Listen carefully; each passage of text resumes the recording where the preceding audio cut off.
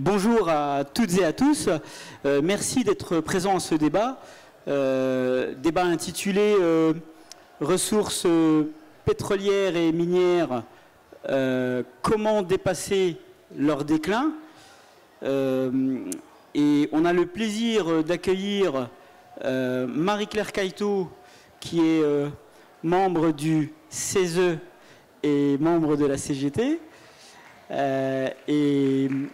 Qui a beaucoup bossé, qui continue de bosser sur les questions énergie euh, et, aussi les ressources en général et les questions industrielles, et qui a écrit un livre sur l'industrie il y a quelques années. Et, euh, Mathieu Ozano, qui est euh, président du Shift Project, directeur du, du, Shift Project, dont le président est Jean-Marie Jancovici, que vous connaissez certainement, et Peut-être aussi que vous connaissez Mathieu Ozano parce que là, vous avez dû l'entendre dans les médias. Et il est auteur notamment du livre euh, Or Noir, la grande histoire du pétrole. Or Noir, la grande histoire du pétrole, et qui est considéré maintenant comme un classique euh, de, des livres sur l'énergie qu'il est bon et qu'il faut avoir lu, et qui a été traduit en 30 langues. Non, combien Ah, Oh, ben, ça fait déjà beaucoup. En chinois et en anglais. Et euh, euh, voilà, et donc. Euh, donc Mathieu Azanou est, parmi nous. Donc c'est un, best-seller, hein, ce, livre. il, est, il, est, très connu et il continue d'être énormément lu. Et qui a...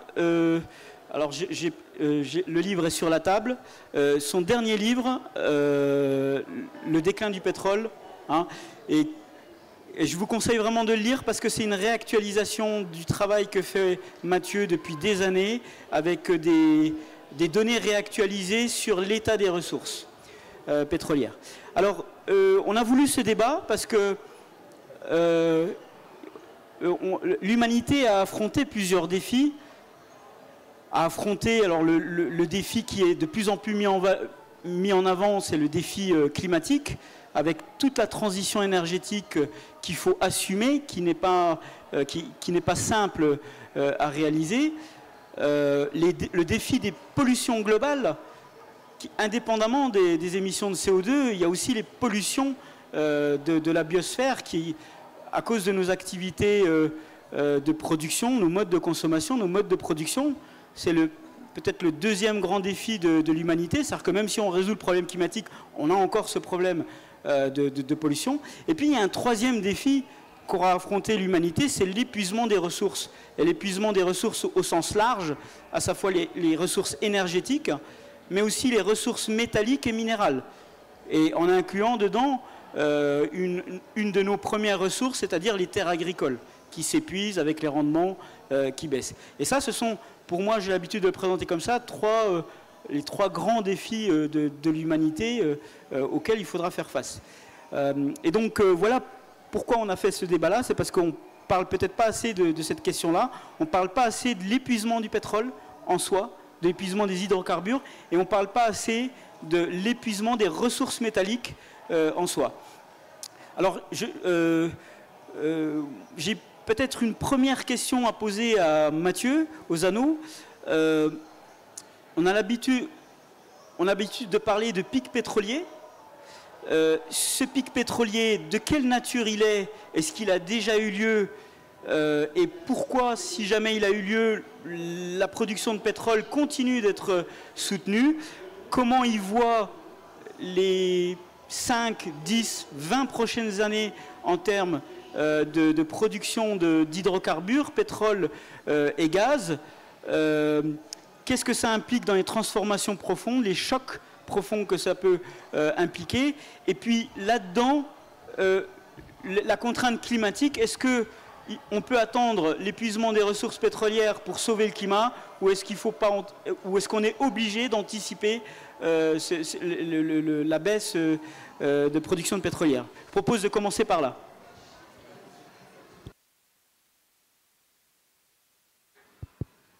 Petit, euh, petit programme pour commencer. Ben, tout d'abord, merci beaucoup. Merci de me faire l'honneur de donner l'occasion de parler ici. Merci Amar. Et bonjour Marie-Claire. On s'était pas depuis quelques temps. Plus fort Alors de quoi, de quoi on parle déjà? D'abord, pourquoi est-ce qu'on s'intéresse au pétrole? Le pétrole, ça demeure aujourd'hui, en quantité et en qualité, la première ressource énergétique mondiale. Ça veut dire c'est la première euh, matière première qui nous permet de faire tout le reste, puisque l'énergie, c'est euh, la capacité à, transformer, à déplacer, à transporter, à fabriquer, euh, même à recycler. Dès qu'il se passe quelque chose en économie, il y a de l'énergie qui passe, nécessairement. dès que vous voulez effectuer une activité économique, soit vous avez l'énergie adéquate, soit vous ne l'avez pas. Et à ce moment-là, vous ne pouvez pas faire l'activité dont vous rêviez. Euh, dont vous rêviez. Et parmi toutes les sources d'énergie, malheureusement aujourd'hui, et c'est bien le problème du climat, 80% de l'énergie, les 4 cinquièmes, ce sont ces énergies fossiles, carbonées, responsables du réchauffement climatique, essentiellement. Euh, et parmi ces énergies fossiles, donc pétrole, gaz naturel, charbon, la première, ça demeure le pétrole, c'est grosso modo un tiers de l'énergie, de toute l'énergie qui est mobilisée au quotidien dans toutes les activités économiques.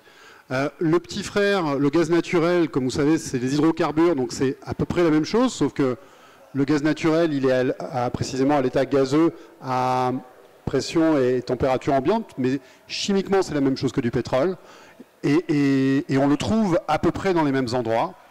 Et puis le dernier, c'est le charbon, qui est le, le, père des trois, la, plus ancienne et puis la plus nocive pour le climat. Mais si on se concentre sur le pétrole, qui est par excellence euh, et en quantité la première source d'énergie qu'on mobilise aujourd'hui au quotidien, eh ben on, a évidemment le problème climatique dont une large partie des gens sont maintenant euh, conscients. Il y a un second problème, on a une seconde pathologie liée à notre dépendance au pétrole, c'est son caractère tarissable. Les énergies fossiles, elles sont carbonées, d'où le problème du climat, et elles ont une autre caractéristique, c'est qu'elles existent en, quantité finie sur Terre, elles sont tarissables. Et sur le pétrole, c'est un sujet actuel. C'est un sujet d'ores et déjà. Alors tu me posais la question du pic pétrolier. Je vais essayer de ne pas être trop long, mais de quoi est-ce qu'on parle? Le pic pétrolier, c'est le point fatidique à partir duquel on ne sait pas compenser le déclin de tout un tas de champs pétroliers qui sont euh, ce qu'on appelle matures, c'est-à-dire euh, dont on a vidé la moitié du stock. Un puits mature, c'est quoi? C'est un puits de pétrole dont on a sorti la moitié du stock et mécaniquement, mathématiquement, j'allais dire, sa production va décliner. Bah, aujourd'hui sur Terre, il y a énormément de zones, de régions pétrolifères qui sont dans ce cas-là. On a sous les yeux, avec la mer du Nord, un cas d'école, la mer du Nord, sa production a démarré dans les années 70, après les chocs pétroliers, au lendemain des chocs pétroliers. Elle est passée par un maximum en l'an 2000, et depuis, cette production de pétrole euh, de la mer du Nord, elle s'est effondrée. Elle est à peu près à la moitié de ce qu'elle était au moment du pic en l'an 2000. mais ça, c'est le destin de toutes les ressources qui existent en quantité finie. Leur production part de zéro, elle passe par un maximum, puis elle décline. Et au niveau mondial, le pic pétrolier le pic du pétrole conventionnel. Le pétrole conventionnel, c'est le pétrole liquide classique. C'est les 4 cinquièmes de la production. Les 4 cinquièmes, et puis c'est le pétrole le plus facile. Que vous avez tous entendu parler du pétrole de schiste, des sables bitumineux. Ça, ce sont les pétroles non conventionnels, dont l'exploitation a, pris son essor euh, au cours des dix dernières années, pour précisément prendre le relais du pétrole conventionnel qui est passé par un pic. Alors la question à la question est-ce que le pic pétrolier est, franchi? Non, pour l'ensemble des sources de, carburant liquide, de toutes les formes de pétrole. Par contre, pour le pétrole roi,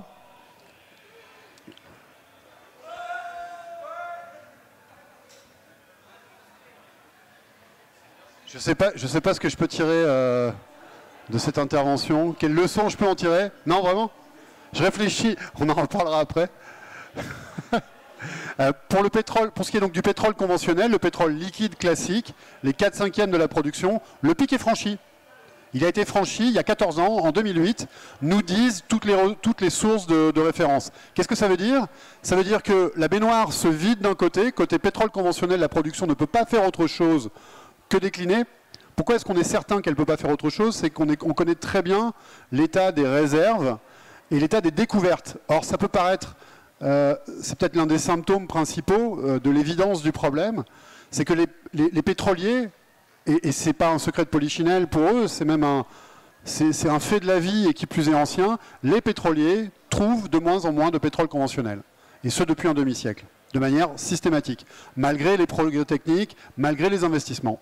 Donc le pic pétrolier, absolument. Et euh, vous me direz ce que vous avez pris au, petit-déj, ça m'intéresse.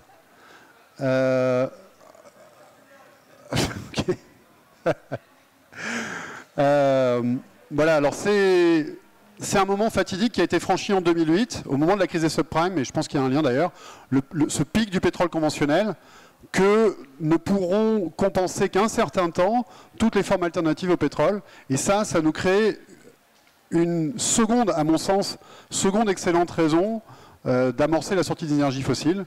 Il y a le climat, et si on ne le fait pas pour le climat, on risque d'être attrapé par une voiture balai qui est les contraintes d'approvisionnement. Et l'Europe, je terminerai là-dessus parce que je suis trop long, en cette introduction, mais il faut, bien se comprendre sur les termes du débat, qui est assez peu posé malheureusement. Euh, L'Europe est en première ligne face à ça. Pourquoi? Parce que le pétrole, l'Europe, bien qu'ayant pris les engagements climatiques les plus, les plus audacieux du monde, même si ça reste en parole aujourd'hui, très peu suivi des faits, est cerné et entouré par des ressources qui sont en déclin. J'ai cité la mer du Nord. Le continent africain est passé par un maximum, là, sa production est passée par un maximum en 2007. Donc l'Angola, euh, si vous avez des amis algériens, demandez-leur, ils savent tous que la production de la Sonatrach de pétrole décline. Et ça a des enjeux, voilà, évidemment pour l'Algérie, mais aussi pour l'Europe qui s'approvisionne. Euh, la moitié de nos approvisionnements viennent de zones qui sont soit d'ores et déjà en déclin, comme la mer du Nord, comme l'Afrique, soit qui voisinent le déclin. Et là, le, gros point d'interrogation, on y reviendra peut-être, c'est la Russie, qui est euh, le plus grand producteur mature de l'aveu même du Kremlin avant la guerre. Euh, la Russie s'attend à voir sa production décliner. Et ça, euh, c'est vraiment, voilà, c'est une voiture balai. Si on ne réussit pas le tour de force d'arriver à nous passer d'énergie fossile, nous les Européens, on est en première ligne parce qu'on est les premiers importateurs mondiaux d'énergie fossile en général et de pétrole en particulier. Voilà. Euh, merci Mathieu. Euh, mais euh, alors au regard du tableau que nous dresse Mathieu Ozaneux, est-ce que bah, ça, a des implications fortes dans la transformation sociale de nos modes de production et de consommation? Peut-être qu'à la CGT, vous avez réfléchi à ces questions-là. Le 16 doit produire, CESE doit produire, produit pas mal de travaux là-dessus. Donc, quelle réaction tu as, Marie-Claire Kaito, par rapport à ça? Oui, merci Amar. Euh, déjà, peut-être, si tu me permets, euh, commencer par euh, ce, que nous dit la guerre en Ukraine. Parce que aussi bien la crise du Covid, elle avait mis en évidence les, causes, enfin, les conséquences de la désindustrialisation massive de la France. On avait vu hein, pendant la crise du Covid qu'on était incapable de produire des masses, des tests, des vaccins, c'est-à-dire qu'on était un pays qui avait quasiment plus d'industrie. Là, la crise avec la guerre en Ukraine, nous montre comment l'énergie, euh, l'accès à l'énergie conditionne la souveraineté des nations. Et je pense que c'est une question vraiment importante. Alors, c'est des choses qu'on savait avant, mais là, on le voit encore plus aujourd'hui. L'accès à l'énergie, c'est la souveraineté et la puissance des nations. C'est-à-dire, quand tu n'as pas d'énergie, comme a dit euh, Mathieu tout à l'heure, ben, de toute façon, tu ne peux pas produire, tu ne peux pas te transporter, tu n'as plus d'économie. Quoi. Donc, c'est vraiment une question qui devient centrale. Alors je pense d'ailleurs que les États-Unis l'ont compris depuis longtemps, euh, parce que quand ils utilisaient beaucoup de pétrole, ils sécurisaient leurs approvisionnements militairement, euh, on a, euh, toujours tendance à dire, ce qui est vrai, que bah, l'énergie, c'est aussi la guerre. Hein. C'est-à-dire que très souvent, pour posséder l'énergie dans les pays qui en, possédaient, eh bien, ça leur a amené la guerre et non pas la richesse. Euh, donc, les États-Unis, avant, sécurisaient leurs approvisionnements de pétrole, entre autres, militairement.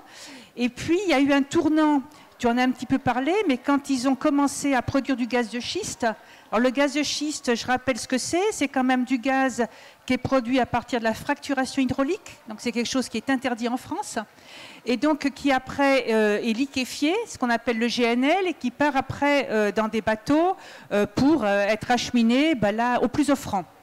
contrairement au gaz conventionnel qui passe souvent par des gazoducs avec des contrats entre États. Euh, là, avec le GNL, on passe avec des contrats entre des entreprises privées, des méthaniers, et euh, qui va à celui qui paye le plus. On a vu encore récemment euh, des méthaniers qui changeaient de direction sur l'eau parce qu'ils avaient une offre qui était plus importante que la, première offre. Voilà, c'est-à-dire que c'est vraiment du marché et du court terme. Donc aujourd'hui, il faut que je pense que qu'on réalise qu'on est en train de rentrer dans un tournant géopolitique majeur. C'est-à-dire que l'Europe est en train de s'arrimer aux États-Unis, qui a ouvert les vannes euh, de, gaz de schiste et de GNL. Et du coup, la Russie eh ben, va se tourner euh, vers l'Asie.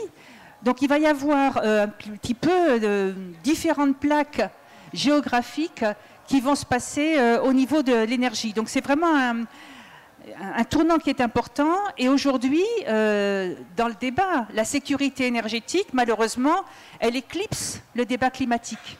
Alors que tous les climatologues le disent, et tu l'as rappelé euh, Mathieu, mais on voit bien aussi les, présentations qu'a pu faire euh, Valérie Malson-Delmotte récemment, on a cinq ans pour éviter des catastrophes majeures. Quoi. Donc ça, ça, ne peut plus attendre. Les questions climatiques environnementales ne peuvent plus attendre. Et d'ailleurs, je fais une petite parenthèse, et ça c'était avant la guerre en Ukraine.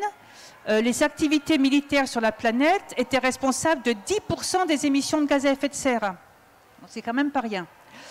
Donc euh, oui, on, est devant une situation, j'allais dire, qui n'est pas simple, parce que ça veut dire qu'il faut répondre aux besoins des populations. Et ça, peut-être qu'Amar le dira après, mais je veux dire, euh, parce que l'énergie, c'est le développement quand même. Hein. c'est grâce à l'énergie qu'on peut se soigner, qu'on peut se cultiver, qu'on peut y compris avoir une mobilité. Euh, donc il faut répondre aux besoins d'une population. Il y a quand même beaucoup de populations dans le monde qui n'ont pas encore cet accès à l'énergie et qui du fait ont des espérances de vie plus courtes d'ailleurs, tout en prenant en compte les défis qui sont posés du réchauffement climatique. Et euh, ça, on a vu aussi les conséquences, y compris chez nous maintenant. Avant, allez, je le dis comme ça, ça nous inquiétait peut-être moins le réchauffement climatique parce que c'était en Afrique, c'était parce que les migrations climatiques, elles ont commencé depuis un certain temps déjà. Hein. Il y a déjà des, gens qui sont obligés de migrer parce qu'il y a trop de flotte ou il n'y a pas assez de flotte. Mais maintenant, on se rend compte que ça vient un peu chez nous. Donc, on va peut-être quand même euh, commencer à s'en préoccuper. Donc, ça, c'est quand même un sérieux défi, quoi. Ça, veut dire qu'il va falloir. Alors, moi, je, le dis comme, euh, comme on peut le porter, nous, à la CGT, mais il va falloir produire et consommer autrement. Donc, c'est un véritable changement de civilisation auquel on est confronté. Alors, produire, consommer autrement, mais il y a des tas d'idées quand même. Il faut regarder aux endroits où on utilise le pétrole, l'énergie, le gaz, les transports. Les transports, on peut quand même faire beaucoup. Or, je ne sais pas si vous êtes baladé un petit peu cet été, mais euh, souvent sur les autoroutes, il y a marqué euh, on va construire une troisième voie, et puis il y a une voie qui est pratiquement prise par des camions. Alors que ces camions, on pourrait très bien les foutre sur des rails et faire du fret ferroviaire il y a l'isolation des bâtiments. Il y a un consensus général pour dire qu'aujourd'hui, on pourrait faire l'isolation massive de bâtiments, ça ferait des économies d'énergie, ça ferait de l'emploi. Il faudrait former, développer une filière professionnelle. Par contre, oui, il faut, débloquer l'argent pour le faire. Ce pas les gens qui sont déjà en précarité énergétique ou les HLM qui sont déjà en cessation de paiement euh, qui vont pouvoir le faire. Il y a l'aménagement du territoire il y a faire en sorte que les gens, ils n'habitent pas à euh, une heure de transport et sans transport collectif parce qu'ils ont des horaires décalés euh, de leur lieu de travail. Donc, vous voyez, c'est vraiment une réorganisation complète de la société auquel il faut penser. Et en particulier, en mettant au centre euh, la question de la transformation du travail, qui est une transformation quasiment anthropologique. On le voit avec l'arrivée massive des nouvelles technologies dans tous les secteurs de l'économie. La question du travail, du collectif de travail et de l'humain, c'est une question qui vient vraiment centrale. Et donc, on ne peut pas faire sans prendre en compte, euh, euh, justement le travail, celles et ceux qui le font, les travailleurs et les travailleuses. Et ça m'amène à dire que ces transformations-là, elles ne pourront pas se faire, d'une part, s'il y, a une question, il y a une question démocratique très forte, ça veut dire qu'il faut qu'elle soit débattue, acceptée et portée par les personnes, et puis il faut qu'il y ait de la justice sociale. Parce qu'on ne peut pas demander à des gens qui peuvent déjà pas se chauffer à serrer la ceinture encore plus, alors qu'il y en a qui gaspillent. Je veux dire, demander à faire des économies d'énergie, oui, mais pas, il y a 13 millions de précaires énergétiques en France. Donc il faut quand même, et ça c'est une question de, justice sociale, commencer par les couches les plus favorisées qui, elles, gaspillent beaucoup. Alors après, il y a des tas de possibilités. Hein. la première chose, y compris que nous on porte à la CGT, c'est l'énergie, c'est un produit de première nécessité. Donc il faut sortir l'énergie du marché. Il y a beaucoup aujourd'hui d'économistes, on entend beaucoup de voix qui disent c'est vrai, le marché, ça ne fonctionne pas sur l'énergie en particulier sur le gaz et l'électricité, encore moins sur l'électricité qui ne se stocke pas et dont les prix aujourd'hui euh, reflètent euh, non pas le, mixte du pays, mais euh, une partie qui reflète le prix du marché et donc le prix du gaz qui est en train d'exploser. Donc beaucoup d'économistes, de politiques sont en train de dire c'est vrai que le marché ça fonctionne pas, mais ils ne remettent pas en cause le marché. Bruxelles est très dogmatique là-dessus. Le ministre de l'Industrie, il dit faut réformer le marché, il faut améliorer le marché, il faut donner des meilleurs signaux au marché, comme si le marché d'ailleurs c'était... Non, il faut sortir ce bien commun de première nécessité du marché et il faut retrouver des services publics sur l'électricité, le gaz et sur le pétrole, c'est-à-dire sur toute l'énergie. Il faut retrouver des services publics pour à nouveau avoir une souveraineté au niveau des nations. Et puis après, on peut établir des coopérations, bien entendu, particulièrement en Europe, mais dans le monde, et puis des tas d'autres idées qu'on peut imaginer. Par exemple, aujourd'hui, vous avez euh, un OMC, une Organisation mondiale du commerce. Pourquoi on n'aurait pas une organisation mondiale qui prenne en compte les questions sociales et environnementales dans les traités internationaux? Donc voilà, des idées, elles ne manquent pas, mais je pense qu'il faut aujourd'hui dire qu'on remet tout à plat, qu'on se re-questionne et qu'on fait un changement de modèle profond. Euh, merci Marie-Claire. Alors, on parle de changer nos modes de production et de consommation, tout remettre à plat. Euh, je sais que le Shift Project, il ne fait pas juste euh, un travail de diagnostic, il a, il a travaillé à des solutions. vous avez édité un livre récemment, le plan d'investissement pour l'économie française. Je te laisserai dire le titre exact. Et alors, euh, est-ce que tu peux nous en dire plus, euh, Mathieu? Comment vous, vous voyez le problème et les solutions qui, vont avec? Oui, je souscris à à peu près tout ce que Marie-Claire a dit. Il y a, sur la partie euh, constat, il y a quelque chose qui est très important à comprendre, c'est que les énergies fossiles dont il convient de se passer d'ici une génération, pétrole, gaz, charbon, je disais qu'elles étaient, euh, elles avaient deux caractéristiques embêtantes. C'est qu'elles étaient carbonées, d'où le réchauffement climatique, et qu'elles étaient, et qu'elles existaient en quantité finie sur Terre, et du coup qu'elles étaient tarissables. il y a une troisième euh, caractéristique. Pourquoi est-ce que ces énergies dominent autant dans, euh, l'économie? Eh bien parce que, pardonnez-moi pour le, le, jeu de mots, les énergies fossiles, c'est des énergies faciles. C'est ce qu'on a de plus commode sous la main. Et c'est bien pour ça qu'elles sont archi-dominantes. C'est ce qu'on a plus commode sous la, main. Et par conséquent, sans passer, c'est euh, et ça, euh, c'est quelque chose qui, qui, fait absolument consensus dès qu'on regarde un petit peu ces questions de transition énergétique. C'est-à-dire comment est-ce qu'on pratique, on s'organise pour avoir une société euh, dont les organes vitaux, le système de santé, le système de transport, tout ce qui fait qu'on fait société techniquement fonctionne et fonctionne bien, s'organiser sans, énergie fossile, eh ben, euh, ça commence par le constat que ça va être compliqué de faire autrement, plus compliqué. Si vous, êtes, que vous soyez euh, pro-nucléaire ou euh, pro-renouvelable ou pro quelque alternative que ce soit au pétrole, au gaz et au charbon, toutes ces alternatives ont en commun d'être, allez, on va dire, plus compliquées, plus délicates à développer massivement. D'où cette notion qui, émerge très fortement, avec beaucoup de malentendus et beaucoup de sous-entendus aussi, qui est cette notion de sobriété. Mais pourquoi est-ce qu'on parle de sobriété? À cause d'un élément de base dans le diagnostic, qui est que techniquement, et c'est je pense un, constat qui est, qui est largement objectivable, voire objectif, faire maintenir le niveau de consommation d'énergie qu'on a dans un pays développé aujourd'hui comme la France en se passant de pétrole, de gaz et de charbon, c'est pas possible. Et c'est pas. Euh, en tout cas, c'est extrêmement, extrêmement hardi. On le voit bien avec les limites. Euh, on va prendre deux exemples. Les limites du déploiement de l'industrie euh, nucléaire en France, aujourd'hui, dans son renouvellement, ou manière, de manière symétrique les difficultés qu'on a à déployer au rythme souhaité les projets d'éoliennes ou les projets de solaire. À ce titre-là, tout le monde est logé à la même enseigne. Toutes les alternatives au pétrole sont plus compliquées. D'où cette notion, et dans laquelle on peut faire rentrer, je pense, effectivement, il y, a, un changement de, il y a un changement de contexte profond dans, la discussion politique. Euh, qu'est-ce qu'on demande à l'économie, concrètement C'est de partir de ce constat, encore une fois, largement, il y a très très très peu de gens qui sont, euh, qui de spécialistes en fait, moi je crois qu'il n'y en a même pas, qui ne sont pas d'accord avec ce constat que sortir du pétrole, du gaz et du charbon, ça veut dire faire maintenir euh, toutes les fonctions vitales qui nous permettent de, faire société avec beaucoup moins d'énergie.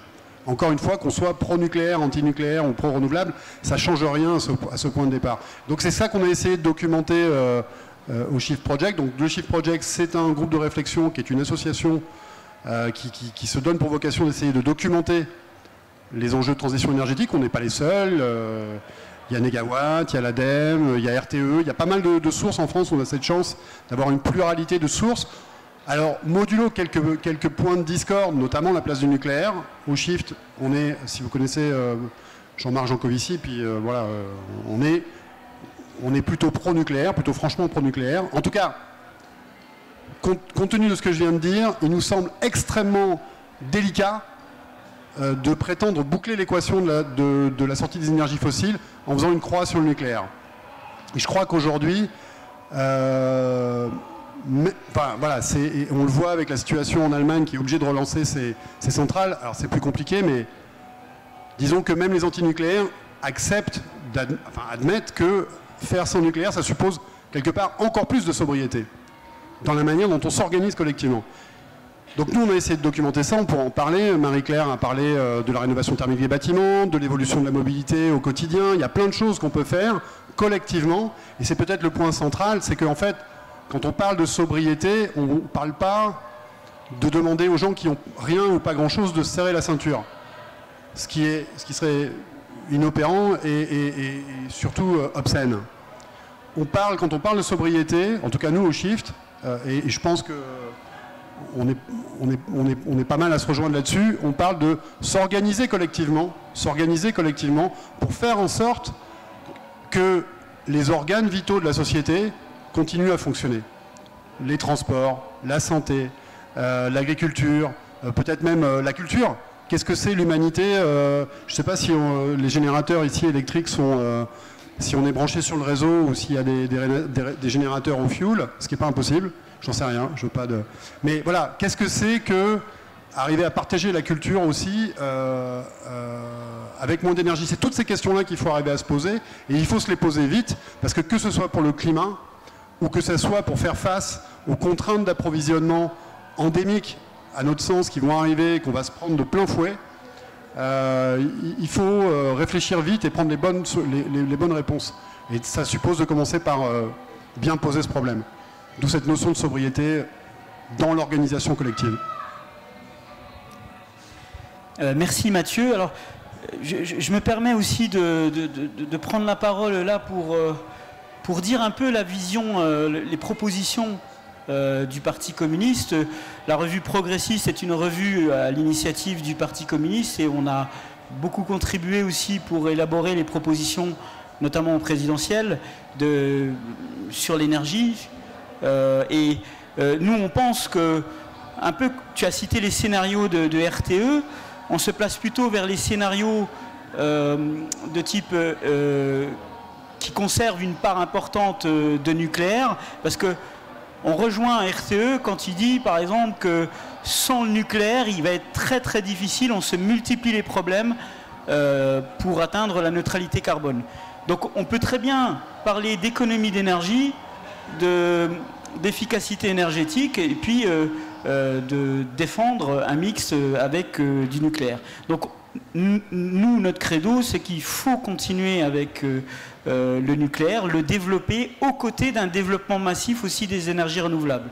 Et la raison pour laquelle on, doit aussi développer les énergies renouvelables, c'est parce que faut augmenter notre production d'électricité dès maintenant euh, pour pouvoir justement se passer du pétrole, du gaz et du peu de charbon qu'on a en France, mais il va falloir s'en passer. Les scénarios de RTE sont très très intéressants euh, de ce côté-là. C'est un gros travail qui a permis vraiment d'éclairer les débats et qu'on est sorti euh, de, la caricature.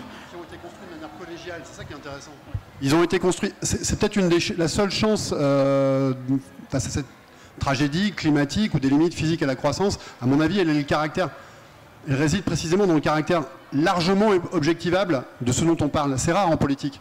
C'est rare en politique. Qu'il y ait, euh, voilà, vérité euh, ici. Euh, est-ce que je suis pour le mariage homosexuel? Disons, je suis contre, tu es pour. on fait un vote et on voit qui a raison, mais on ne peut pas dire de manière objectivable qui a raison ou qui a tort. Quand on parle de technique, encore que peut-être que si, mais bon, quand on parle de technique, on parle d'un champ qui est largement objectivable. Est-ce que ce que je voulais compléter rapidement sur ce que tu disais sur RTE, les scénarios d'RTE auxquels on a, nous, euh, contribué, ils ont été construits de manière collégiale, où il y avait des antinucléaires, il y avait des pro-nucléaires, et on s'est mis d'accord sur des constats qui ne qui sont pas, qui sont pas euh, moraux, qui ne sont pas idéologiques, qui sont en fait techniques. Oui, objectivement, euh, du reste, euh, Negawatt, qui a, été longtemps été le, grand promoteur de la sortie du nucléaire, et absolument ne disconvient pas du fait que, comme on l'a dit, effectivement, c'est beaucoup plus compliqué d'y arriver si on, si on ferme les centrales nucléaires. On peut y arriver, mais qu'il faut convaincre les Françaises, Français qu'il va falloir faire avec, non pas avec un peu moins, mais avec beaucoup moins.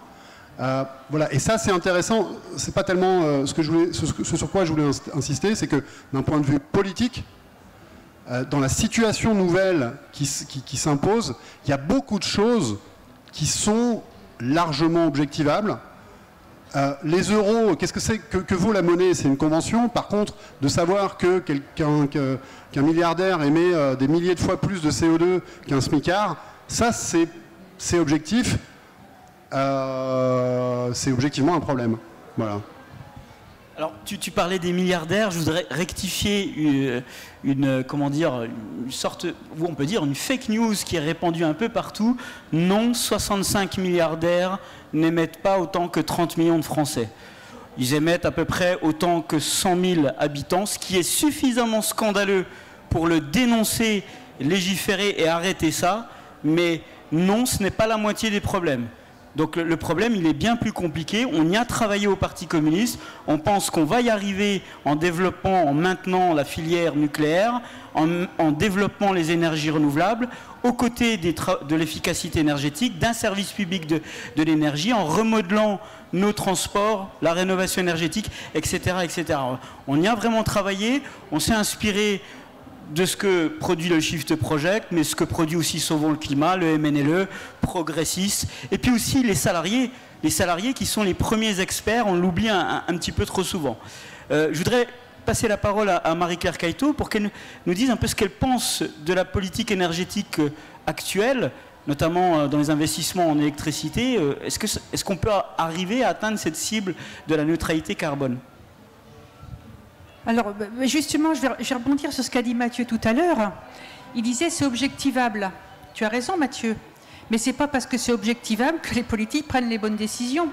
Je veux dire, ils ne prennent pas forcément les décisions de cette manière-là. D'ailleurs, quand euh, le Parti socialiste a signé un accord avec Europe Écologie Les Verts à diminuer de 50% la part du nucléaire, il s'appuyait sur aucun scénario technique. C'était une décision purement politique. Alors après, bon, ben, on peut le. Voilà, mais en tous les cas, ça s'appuyait sur aucun scénario. Et ça a quand même donné lieu à la loi de transition énergétique, qui aujourd'hui est toujours d'actualité, tant qu'elle n'a pas été refaite, pour laquelle la CGT s'est bagarrée contre. On a dit que c'était une loi qui était désastreuse, parce que par exemple, elle préconisait, elle disait, euh, on va diminuer par deux la consommation d'électricité. Et nous, on disait, c'est pas possible. Qu'on diminue la consommation d'énergie, oui, mais la consommation d'électricité, non. Parce qu'on va avoir des transferts d'usage massifs, en particulier par exemple si on veut substituer une partie du parc thermique par du parc électrique, parce que les nouvelles technologies, l'air de rien, ça demande beaucoup, beaucoup, beaucoup d'électricité, parce qu'en France, on a une population en augmentation. Donc, euh, euh, je veux dire, faire des prévisions en disant qu'on va diminuer par deux la consommation d'électricité, c'est une imbécilité. On ne va pas y arriver. D'ailleurs, on voit aujourd'hui, euh, là, il nous manque 10 gigawatts sur le réseau parce qu'on a fermé Fessenheim, et contrairement à ce que dit le président de la République, c'est pas parce qu'il n'y avait pas de maintenance, la maintenance était faite et l'ASN disait qu'elle pouvait continuer à fonctionner, et parce qu'on a euh, fermé les centrales thermiques sans penser à mettre en place des nouveaux moyens de production. Et donc aujourd'hui, vous vous rendez compte quand même, on était un pays, la France, qui était quand même exportateur euh, d'énergie, d'électricité en particulier. Aujourd'hui, qu'est-ce qu'on va faire? On va importer de l'électricité faite à partir du charbon en Allemagne, je caricature un peu mais pas trop, et on va importer du gaz fait à partir de gaz de schiste aux États-Unis. Mais comment en est-on arrivé là? Est-ce qu'à un moment donné, on se pose et qu'on demande quelles sont les politiques qui nous ont envoyés dans le mur? Parce que très franchement, c'est une situation. Donc non, la, situation. Moi, je, pense qu'on euh, a des gouvernements, c'est pas que celui-là, mais celui-là, comme, comme les précédents, qui n'ont pas d'une part de vision industrielle. Ils ont laissé filer l'industrie, euh, ils ont laissé filer l'industrie en France. Hein. On est désindustrialisé de façon massive et c'est très très préoccupant. Parce qu'un pays qui n'a pas d'industrie, c'est un pays qui peut plus avoir d'économie. Hein. Je veux dire, on ne va pas vivre juste avec du tourisme ou des choses comme ça. C'est pas possible. Et, l'industrie et l'énergie en particulier, ça nécessite d'avoir une vision à long terme c'est pas euh, des taux de rentabilité à deux chiffres euh, dans six mois. L'industrie et l'énergie, il faut penser 10, 20, 30, 40 ans à l'avance. Et c'est des, investissements massifs, mais qui n'ont pas des taux de rentabilité tout de suite et parfois pas énormes. Voilà, donc on a des gouvernements qui euh, ben, ont la foi dans le marché et puis font des politiques, il faut le dire très clairement, hein, pour les grands groupes et pour les actionnaires. Et encore plus Macron que les précédents. Donc aujourd'hui, par exemple, le président de la République, il parle. Alors moi, moi je vais être très, très clair. Hein. Je ne suis pas pro-nucléaire, mais je pense tout simplement que c'est impossible aujourd'hui de se passer une forme de production d'énergie qui n'émet pas de CO2. C'est impossible. Ou alors, effectivement, on ne fait plus rien. Alors là, on, laisse les voitures, on fait tous du télétravail, et encore, télétravail, ça demande quand même de l'électricité. Non, mais après, il faut, il faut, quand même être un peu sérieux. Donc, je pense que si on veut effectivement... Parce qu'on on prend toujours l'exemple de l'Allemagne, d'ailleurs, il va falloir le regarder de près en ce moment. Hein. L'Allemagne, nous, on a, on a, analysé, quand elle a dit qu'elle allait fermer ses centrales nucléaires, ça va conduire à émettre plus de gaz à effet de serre les, les, antinucléaires ou les gens nous disaient oui, mais c'est transitoire. Alors d'une part, oui, mais le transitoire, c'est un problème. Parce que le réchauffement climatique, c'est tout de suite qu'il faut agir. C'est un paquebot. Plus on attend, plus c'est compliqué. Et plus on saute des étapes, et moins on y arrivera. Donc déjà, dans ces questions-là, je pense qu'il y a une question de temporalité très importante. On ne peut plus se permettre de dire on arrête une forme de production d'énergie d'électricité qui n'émet pas de CO2 pour en prendre une autre qui émet du CO2. Ben non, c'est pas faux.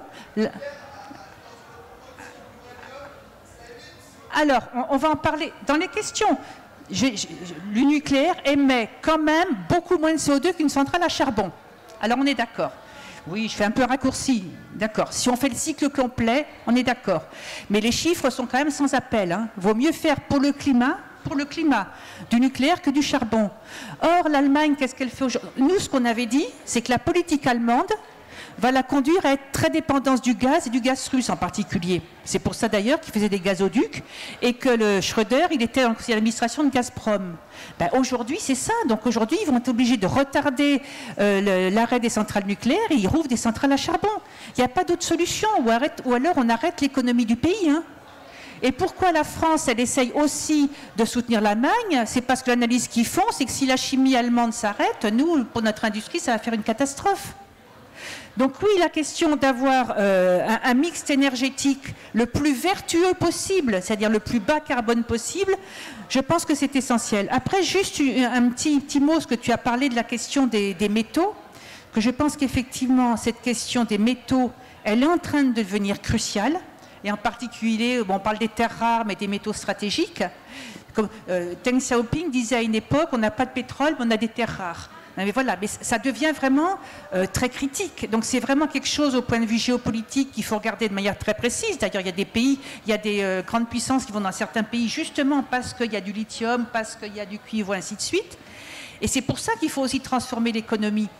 Ça veut dire par exemple qu'il faut qu'on passe d'une économie linéaire à une économie circulaire où dès le départ, on va penser comment on fait avec de l'éco-conception, comment on va pouvoir tout de suite réutiliser la matière et faire une économie beaucoup plus... Et pour ça, il va falloir beaucoup de recherche. Et pourquoi je dis ça? Parce que la France est très à la traîne sur la recherche. Alors on parle tout le temps du 3% de déficit, là on sait qu'il est calculé sur rien. Mais par contre, il y a un engagement de Lisbonne de faire 3% du PIB de recherche. Or, la France, depuis longtemps, elle à la traîne, elle doit être à 2,4 aujourd'hui, et d'ailleurs tous les chercheurs alertent. Hein. Or, on sait très bien qu'avec les enjeux qui sont posés à l'humanité aujourd'hui, on a besoin de faire beaucoup plus de la recherche. De la recherche d'ailleurs dans les sciences euh, dures, de la recherche aussi dans les sciences euh, humaines et sociales. Voilà, on a besoin de faire beaucoup de recherche. Et donc, euh, cette question des métaux, je pense que c'est vraiment une question à prendre euh, au sérieux et à regarder ce que ça implique, en particulier d'un point de vue géopolitique. Oui, merci Marie-Claire.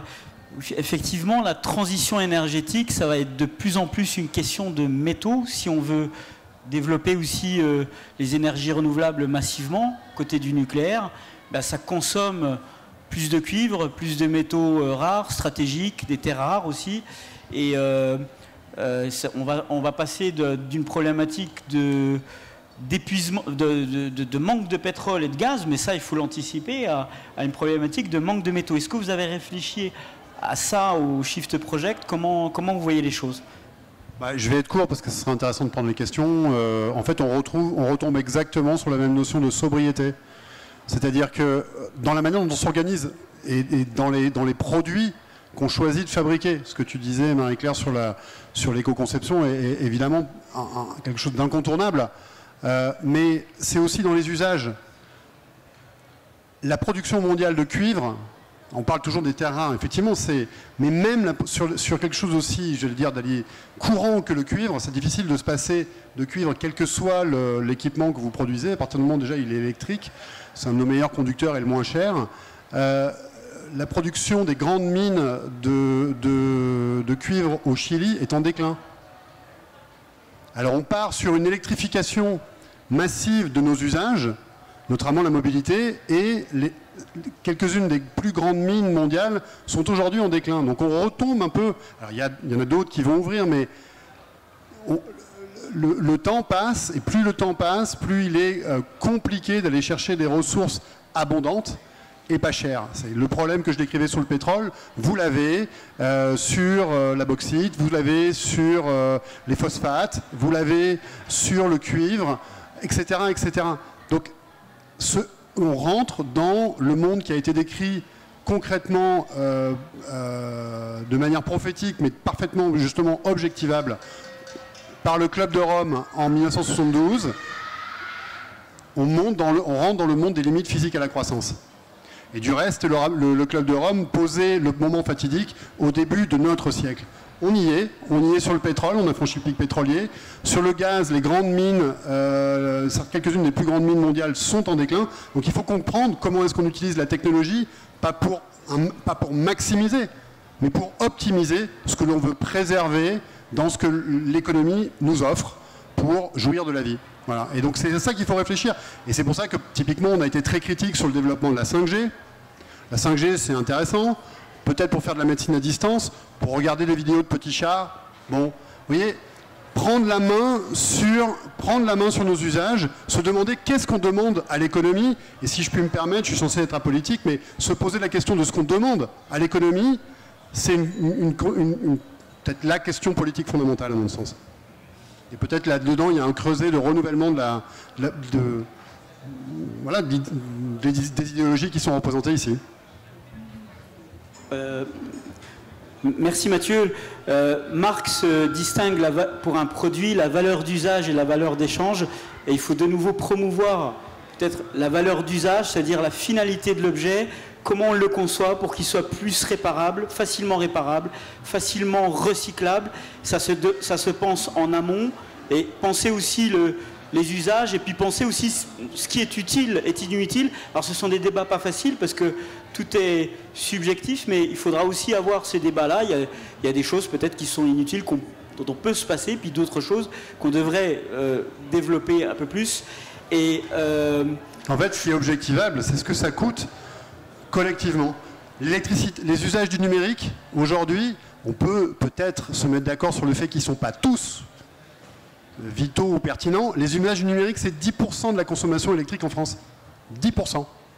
C'était zéro il y, a, euh, il y a 15 euh, ans. Vous voyez, ça contraint. Plus vous demandez un système, plus vous augmentez de la pression dans les cocotte minutes, plus vous arrivez à une, vous augmentez la probabilité que ça pète quelque part. Voilà. quelque part, l'écologie politique, c'est imaginer une navigation euh, salubre, sereine, euh, et, en demandant pas trop un système, en particulier en évitant les usages qui sont dispendieux et qui ne sont pas vitaux pour la cohésion sociale et pour, le, pour les équilibres euh, entre nous. Juste avant de passer pour les questions, à noter que euh, au Shift Project, vous intervenez souvent dans les écoles d'ingénieurs. Et ça, ça va être les nouveaux ingénieurs du futur. Ça va vraiment être des gens qui vont aussi penser euh, des systèmes qui seront moins consommateurs en, métaux, moins consommateurs en énergie. Et ça demande aussi beaucoup d'intelligence de revenir sur des usages, de les penser. De Voilà, donc ça, et l'éco-conception, l'économie circulaire, ça va vraiment être un secteur qui, bah, on l'espère, euh, où les ingénieurs euh, travailleront de plus en plus. Euh, je signale juste ces travaux d'Olivier Vidal, qui a beaucoup bossé. C'est un petit peu le Mathieu Ozano, mais des métaux. Et il a écrit un livre qui est pas mal, qui fait aussi référence, et qui a été un peu pionnier là-dedans sur cette question des métaux, où il a alerté sur le fait que attention, on va, avoir une transition métallique, c'est aussi, enfin, ça va la transition énergétique, ça va être un problème de transition métallique et qui a essaimé et, maintenant on commence vraiment à en parler, puis on, fait un débat aujourd'hui. Alors on, ébauche un peu le problème parce qu'on a un petit peu perdu de temps, mais euh, voilà, c'est une première. Alors on va peut-être prendre euh, des questions. On a une petite vingtaine de minutes. Euh, je, ben, je vais distribuer en fonction de, et puis, hop, hop, voilà. Bah, c'est peut-être toi la question. Trois, petites remarques par rapport à ce qui a été dit. Euh, sur les matériaux, euh, il reste et c'est démontré que le nucléaire est quand même le moyen de production décarboné qui consomme le moins de surface, le moins de béton, le moins de matériaux en général. Euh, ramené à la même production, bien sûr. Une autre petite remarque, on n'a pas du tout parlé de pilotable.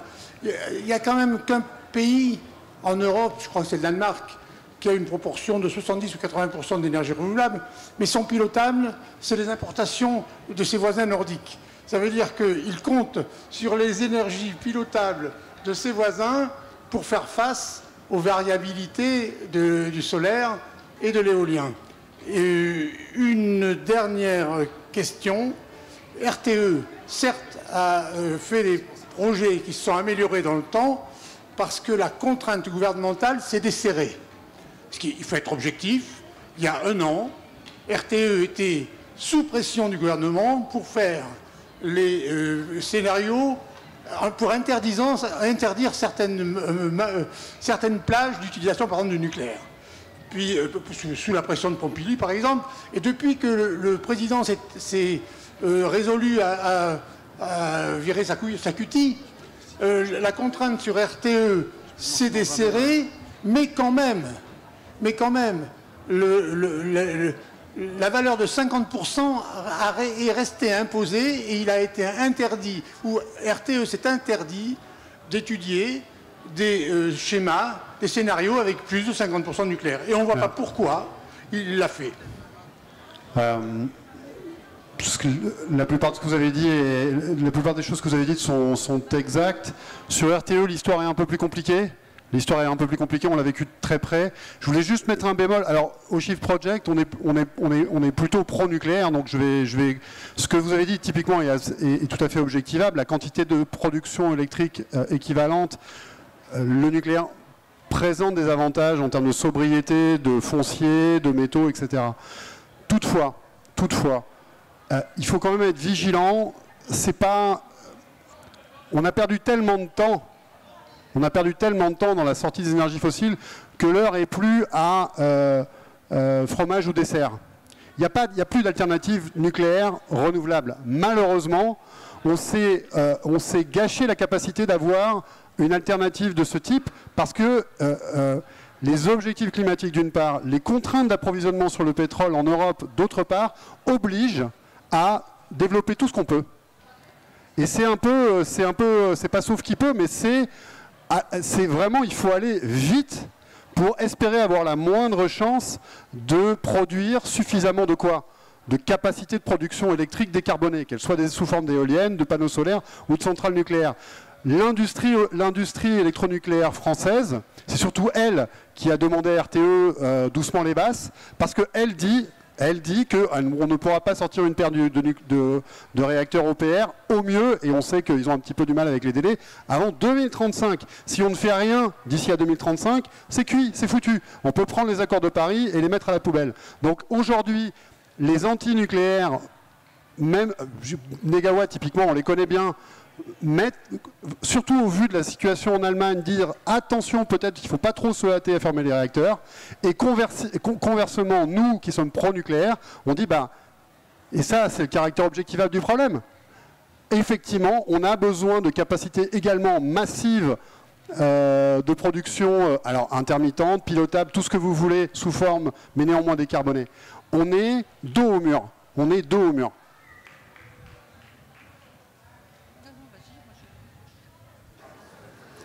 Oui, bonjour. Alors moi je suis un lecteur de la décroissance, hein. ça y est, j'ai lâché le mot qui, fâche. J'entends parler du pic de pétrole et de Mathieu Zano depuis euh, une dizaine d'années, là en me demandant est-ce qu'on a passé le pic ou pas. Et euh, en vous entendant, je me dis, mais vous avez l'air euh, sincère, conscient et tout ça, mais on a l'impression quand même qu'on est encore dans une sorte d'aveuglement. C'est-à-dire que vous dites, oui, bah, de toute façon, on ne va pas pouvoir se passer de la consommation d'électricité. En, gros, hein, je caricature un petit peu et euh, on ne va pas pouvoir prendre les décisions qui vont avec. Et finalement, au-delà du, avant le club de Rome, est-ce que c'était pas euh, des théoriciens de la thermodynamique comme Georgescu Rogan, par exemple, qui avaient raison? En fait, est-ce que ce ne sont pas les partisans de la décroissance qui ont raison? Au bout du bout, hein, malgré euh, qu'ils aient été probablement marginalisés pendant, pendant des années Et la décroissance qui nous attend, est-ce qu'elle va être choisie ou est-ce qu'elle va être subie? Et à mon avis, j'ai l'impression qu'elle va être subie, ça ne va pas bien se passer hein, entre nous. Et qu'est-ce que vous en pensez? Non, moi je veux bien dire un mot là-dessus. Euh, moi je ne suis pas pour euh, prendre le débat croissance-décroissance personnellement. Je suis pour le prendre sur quel mode de développement on veut pour répondre aux besoins des populations et en même temps aux contraintes données par le réchauffement climatique. Et donc c'est quel mode de développement on met en place collectivement. Alors, par exemple, il y, a des, euh, choses qui doivent décroître. Euh, les, voitures automobiles, oui, ça doit décroître. Les camions sur les autoroutes, ça doit décroître. Les publicités, pour moi, qui bouffent de l'électricité, ça sert à rien, ça doit décroître. Non, mais je veux dire, il y, a des productions inutiles. Mais après, quand on dit production inutile, ça, c'est un débat démocratique. Parce que moi, je dis par exemple la publicité. Bon, la publicité, je pense qu'on peut quand même dire que c'est assez inutile parce que ça fait que gérer dans la tête des besoins et des frustrations quand on n'arrive pas à avoir les objets. Quoi. Hein. Non, non, mais, par contre, il y a des choses que certains peuvent juger inutiles que d'autres jugeront utiles. C'est un débat qui n'est pas simple. Quand on dit, moi j'avais regardé, j'avais regardé à un moment donné, euh, il y avait une volonté euh, de François Brotte de faire une loi sur les tarifs progressifs de l'énergie. Et donc il disait, euh, on va donner le premier truc euh, pas cher, et puis après, on, payera en fonction de ce qu'on consomme. Mais par exemple, si on prend euh, l'exemple du chauffage, un chauffage quand on habite dans l'habitat collectif, d'une part, on n'a pas la même perception suivant qui on est. Moi, j'avais fait des études là-dessus. Les personnes d'origine africaine n'ont pas du tout la même perception de la chaleur que nous. Deuxièmement, si on est euh, malade, si on est personne âgée ou si on est toute la journée chez nous parce qu'on est au chômage, on n'a pas les mêmes besoins de chauffage qu'une autre personne. Si vos voisins dans l'immeuble y chauffent, bah, vous pouvez chauffer moins. Voyez Donc faire ce type de loi, d'ailleurs on a, la CGT, on a réussi à faire en sorte qu'elle ne sorte pas. Mais voyez, je pense qu'il faut quand même plus réfléchir collectivement et démocratiquement donc, à ces choses-là. Donc voilà, de quoi on a besoin comme, comme production utile, qu'est-ce qui doit croître par exemple, les services publics, il en faut plus. Donc, bah oui, c'est donc c'est un secteur qui est en développement. La santé, l'éducation. Donc, moi, je préfère le prendre comme ça. On doit croître dans certains domaines, décroître dans d'autres. Donc, c'est surtout quel développement on veut, dans quelle société on veut vivre après. Et après, effectivement, en fonction des choix qu'on fait, eh ben, il y a des moyens de production à mettre en place.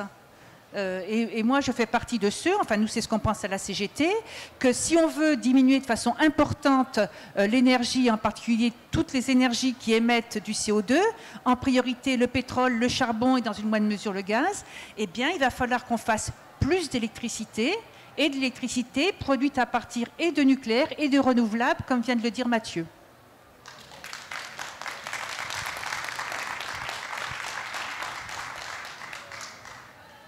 Parler. Bon, ben voilà, moi je suis femme d'agent EDF depuis que j'ai 18 ans. Aujourd'hui, j'ai 65 ans. Et entre deux, j'ai vu évoluer EDF, contrairement à certains.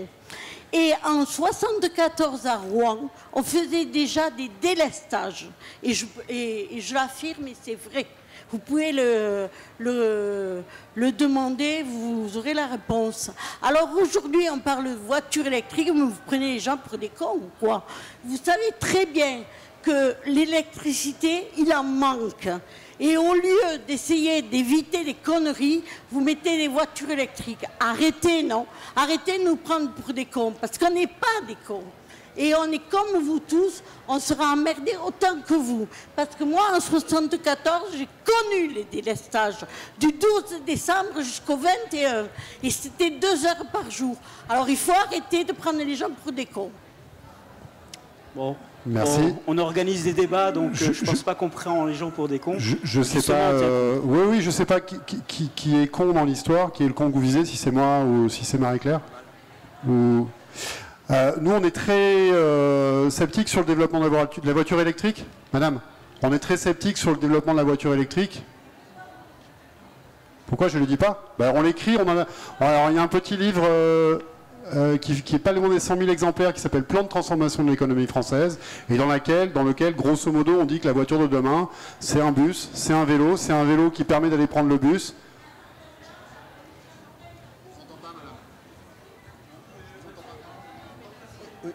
Bon, bonjour. une autre question, d'accord. Euh, Donc ça rentre dans, la thématique de la sobriété. Euh, on n'est pas pour les SUV électriques avec un bonhomme dedans. Ça passera pas, je suis absolument d'accord avec vous. Dans le débat, je pense que tout le monde est d'accord, il faut partir des besoins qu'on doit satisfaire. Donc la question de la décroissance me gêne un petit peu quand même parce qu'il y a 800 millions de personnes aujourd'hui qui sont limites au niveau de la faim. Ça veut dire qu'il y a une grande partie du monde aujourd'hui qui ne, qui ne qui n'a pas une vie décente et on meurt moins des guerres. Moi, je suis pacifiste, je suis au mouvement de la paix. On meurt plus de la faim dans le monde d'aujourd'hui. Donc, il faut prendre ça en chose. Et donc, je voudrais aborder cette question-là des moyens. Vous avez abordé le problème de la recherche. Donc, je suis pacifiste et j'ai travaillé dans une université. On ne peut pas faire les, de voir, ne pas voir les questions, ne l'a pas abordé du tout aujourd'hui, de quel monde dans lequel on vit. Aujourd'hui, le monde dépense 2100 milliards de dollars tous les ans, tous les ans, pour construire des armes. Les États-Unis vont dépenser 1000 milliards dans les 15 années qui viennent pour construire de nouvelles armes nucléaires. Le gouvernement actuel est lancé dans un programme de modernisation des armes nucléaires pour 100 milliards sur 15 ans. Et quand on regarde qui travaille là-dessus, dans mon université, les trois quarts des électroniciens ont travaillé sur l'électronique de lancement des M51 les chimistes sur les, poudres pour les missiles nucléaires, les matheux pour le cryptage des données, les informaticiens un petit peu aussi. Et dans l'autre côté, dans un autre campus, il y avait très très peu de gens, ça s'est amélioré un petit peu, mais qui travaillaient sur, sur l'électronique musicale. Mon idée, c'est qu'on, la question, je voudrais qu'on déborde dans le monde d'aujourd'hui, et euh, dans un monde de coopération, on doit prendre en compte tout, pas simplement les questions de la France. Et c'est un changement de paradigme total qui met aussi les questions de la paix en plein cœur de la question de, l'énergie. Et ce n'est pas un hasard s'il y a à peu près 70 scientifiques qui viennent de, lancer, plusieurs scientifiques qui ont appelé ces questions. Les moyens, il faut les chercher aussi. Un changement des paradigmes du monde des questions de la paix et de la guerre.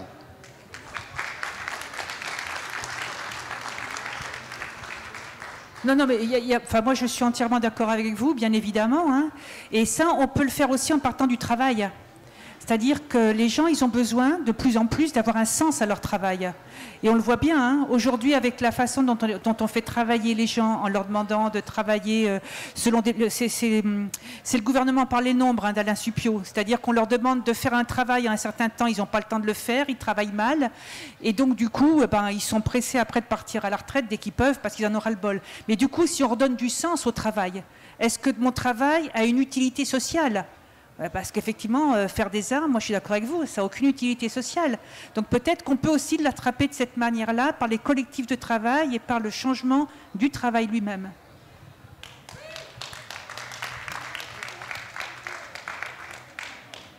Bien, je, veux juste réagir au chiffre qui a été donné, 2000 milliards de dollars par an de dépenses pour l'armement au niveau mondial.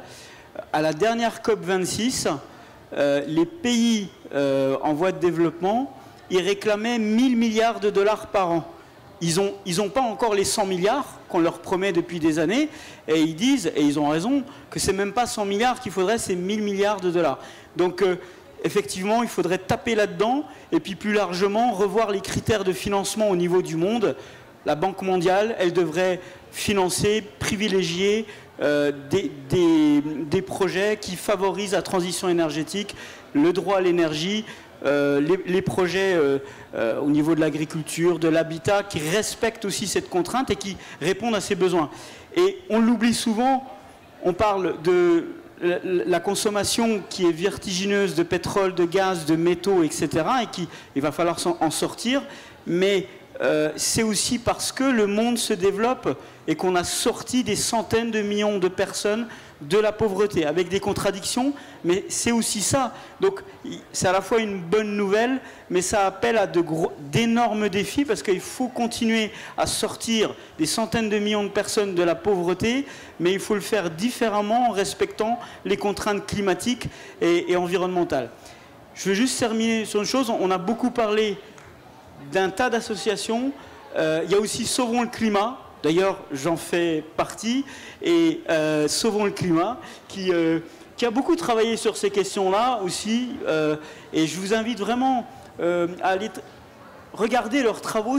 On a vraiment des physiciens, des, gens très sérieux qui ont bossé dessus. Je pense que Shift Project, vous regardez ça, vous regardez ça aussi avec intérêt.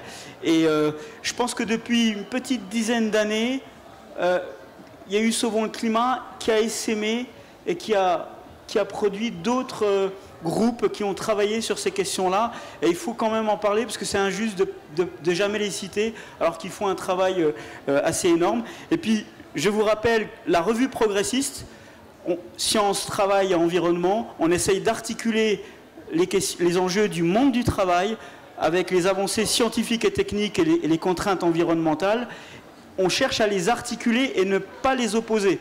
Et donc c'est un travail qu'on fait, on donne la parole euh, euh, à, des salariés du monde du travail, des scientifiques, etc. C'est tous les trois mois.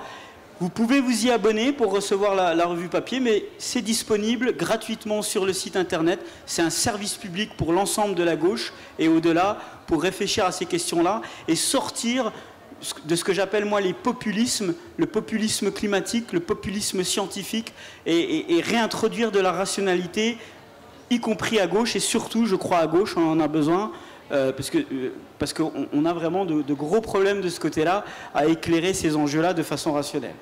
Merci pour ce débat. Merci Mathieu euh, d'être venu. C'était vraiment un grand plaisir de, te recevoir à la fête de l'humanité. Merci Marie-Claire. Ah, tu es, de la fête. Et, et à très bientôt.